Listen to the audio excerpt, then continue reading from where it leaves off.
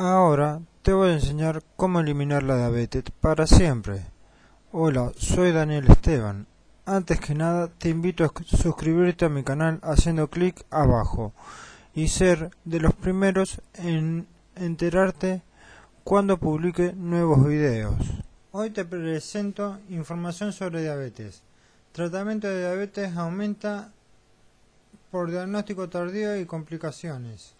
El costo del tratamiento de la diabetes puede incrementar hasta en un 350% de los dos motivos, por dos motivos, el diagnóstico tardío de la enfermedad y las complicaciones crónicas.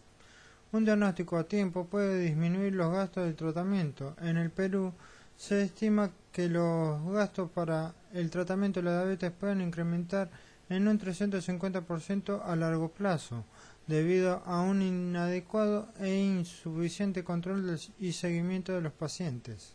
La alarmante cifra de incremento de gasto para el tratamiento de la diabetes puede estar asociado a dos factores. La falta de motivación del paciente, es decir, no seguir las indicaciones del médico, no medicarse adecuadamente, no seguir hábitos de alimentación y actividad física recomendados no acudir a controles médicos, entre otros, y el segundo factor puede ser que el médico no esté siendo lo suficientemente persistente con el tratamiento o que el paciente no reciba una adecuada orientación, educación en nutrición, actividad física, administración de medicamentos, entre otros. Al respecto, el doctor Fernando Costa Lostaunau director médico de Novo Nordisk señaló, la mitad de las personas con diabetes no saben que tienen diabetes y entre los pacientes diagnosticados el 50% no se encuentra bien controlados, lo cual aumenta significativamente el riesgo de complicaciones que pueden atraer como consecuencia infarto cardíaco, derrames cerebrales, ceguera, amputaciones, etc.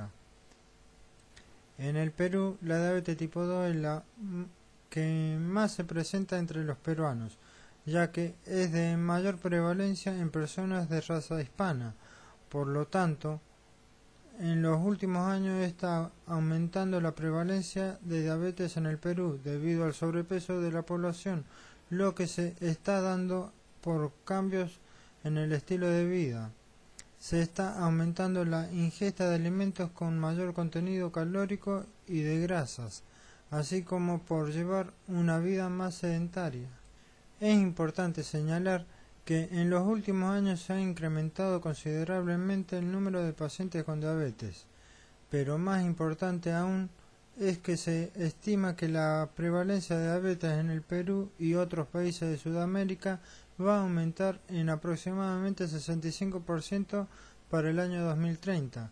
La población más vulnerable es aquella con factores de riesgo, especialmente las personas con sobrepeso y o con historial familiar de diabetes. Una alternativa para evitar el aumento de personas con esta enfermedad es desarrollando un programa integral para el manejo de los pacientes con diabetes que incluya controles médicos recomendados educación para el paciente, apoyo con medicamentos para las personas que los requieran, entre otros, comentó el especialista. Acerca de Novo Nordisk. Novo Nordisk es una empresa farmacéutica de origen danés que desde hace 90 años se dedica a investigar y desarrollar productos para el tratamiento de la diabetes. En el 2012 fue citada por la revista Forbes como la compañía más sostenible del planeta. Para obtener mayor información visite www.noonordis.com y www.worlddiabetesfoundation.org.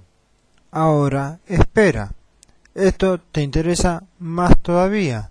Si eres una persona seriamente comprometida y estás dispuesta a combatir la diabetes con el método exacto que me permitió a mí olvidarme de para siempre de este horrible problema, entonces te encantará saber que hay una solución extremadamente eficaz, tal como lo oyes.